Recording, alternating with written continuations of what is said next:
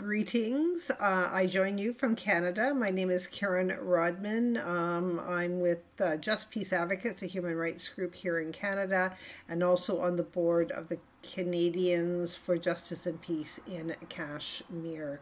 I'm glad to be joining you, and as we consider colonization in Indian occupied Kashmir, we also remember that Canada was founded on and continues to be party to ongoing violence against the Indigenous peoples of Turtle Island. Thank you for including me in this important program as we consider the over seven decades of broken promises, international promises to the people of Kashmir. Let us remember that it was India that on December 31st, 1947, first brought the matter of Kashmir to the United Nations. Less than a month later, under the United Nations Security Council Resolution 39, the United Nations Commission for Indian and India and Pakistan, the UNCIP, was formed, and the, following this, the United Nations Security Council passed Resolution 47 on the 21st of April 1948. Resolution 47 laid the basis for the resolution of the Kashmir issue. Canada very much had its fingerprints on that resolution, with Canada, um, then uh, United Nations representative Andrew McNaughton being one of the being the president of the United Nations Security Council at that time, and having shown leadership in drafting and also in the approval of the resolution. Then, on January 5, 1949, the United Nations Commission for India and Pakistan laid out a detailed plan for self determination. Both India and Pakistan had already accepted the proposal beforehand. The approved plan provided for details for free and impartial plebiscite promised by the United Nations Security Council Resolution 47 and included details related to the free right of return that had been promised um, with the provision to exercise rights as citizens for those returning. It also provided for freedom of press, of speech and assembly, and freedom of travel in the state, including freedom of lawful entry and exit. It also called for the release of all political prisoners. It would have seemed reasonable at that time to be optimistic that the people of Jammu and Kashmir indeed would have their right of uh, self determination recognized through a plebiscite that had been promised to them through Resolution 47. But of course, the forces of imperialism and colonization were at place even uh, in that immediate post World War II period where the world seemed to have its hopes pinned on a shiny new institution of the United Nations. And so here we are 75 years later. Jammu and Kashmir remain an internationally recognized disputed territory. Still no plebiscite, still no right of return for generations exiled, and even less freedom of assembly, speech, and press um, in the uh, years since uh, August uh, 2019. With the revocation of Article 370 and 35A in early August 2019, the way was set to move from decades long military occupation into an aggressive settler colonization in Indian occupied Kashmir.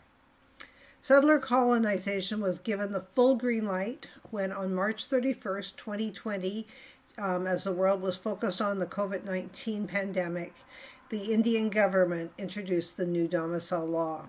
This law shifted the focus to demographic change and to aggressive taking of land and resources from the indigenous population of Jammu and Kashmir.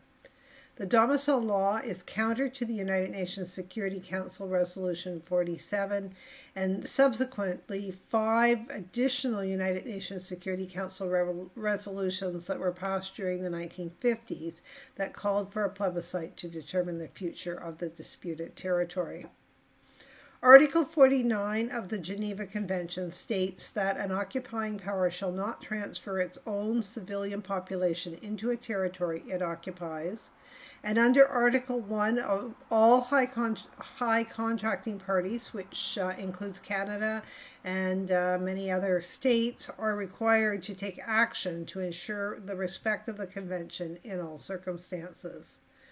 Over these last uh, three years, settler colonization in Kashmir has been happening at the speed of light behind a veil of silence, with communications blockages and uh, the world uh, not uh, paying attention uh, on what was happening.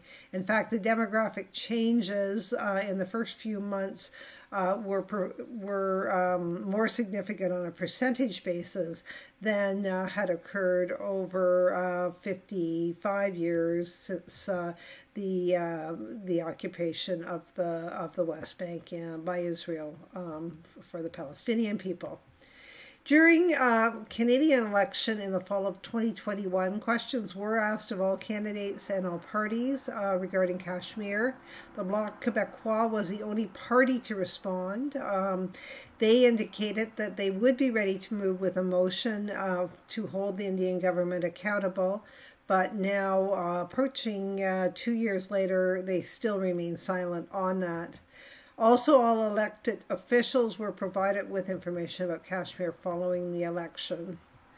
There have been thousands of letters and a number of uh, Canadian parliamentary petitions uh, that uh, have taken place. Um, and certainly through this work, the uh, hope is to raise awareness and, uh, and uh, make sure members of parliament know about the situation in Indian occupied Kashmir and to call on them to start the work that was began initially back 75 years ago with Canada's leadership uh, at the United Nations around that promise for a plebiscite through Resolution 47. It is an honor to be able to work with Kashmiri diaspora and solidarity organizations here in Canada and around the world um, as we work together to shine a light on the truth about the history and the present situation in Kashmir. As we are now at three quarters of a century of broken international promises, we need to work to make that light brighter, holding our governments, our media, corporations, and other institutional decision makers accountable so the promise for self determination can be realized for the people of Kashmir. I wish you all the best with your conference. I'm sorry that I'm not able to be there in person, but uh, please to make comment and we'll be following your proceedings. Thank you so much.